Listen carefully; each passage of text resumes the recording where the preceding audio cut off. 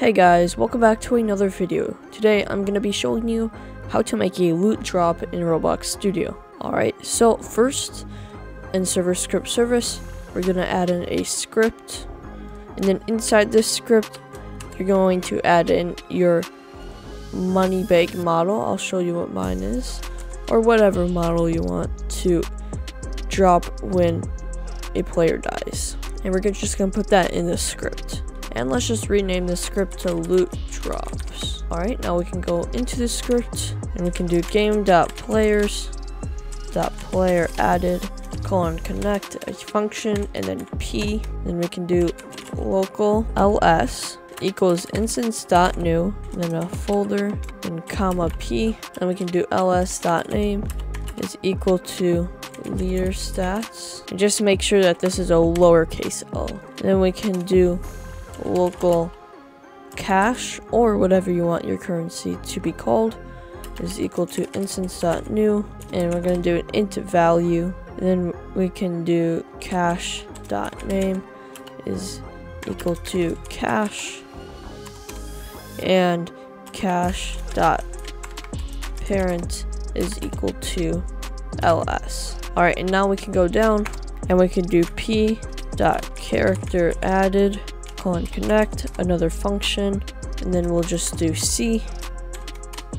And then we'll do c wait for child and then we'll do human humanoid dot died then colon connect a function. Then we can do local bag is equal to script dot money bag colon clone local cf is equal to c dot humanoid root part dot c frame equals vector 3 dot new and we're just gonna do 0 comma c dot humanoid root part dot size y times. So for that we'll just use that and uh, we're going to do 1.5 and then we're going to do a minus bag dot size y divided by.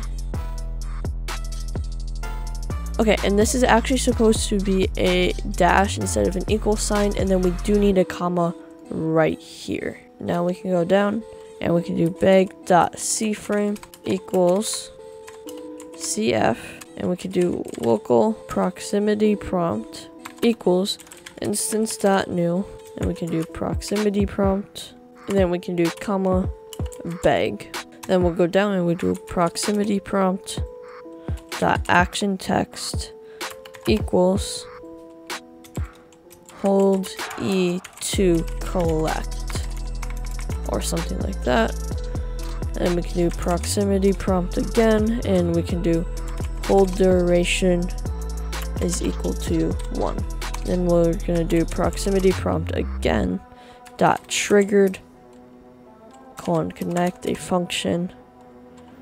And then we're gonna do player triggered.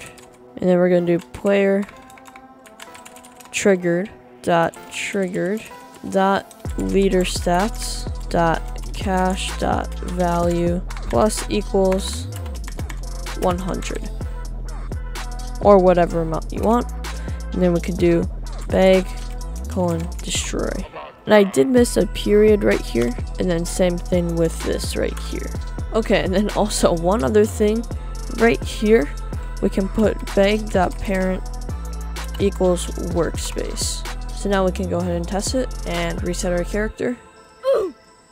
As you can see you see that it shows right there. So if we hold E and collect it we get 100 cash. So that is how you make a loot drop in Roblox Studio. If this video did help you, then please don't forget to give it a like and subscribe to the channel. The project file for this video will be in my Discord server. The link for the server is in the description, so go ahead and join that. Thank you for watching, and I will see you next time.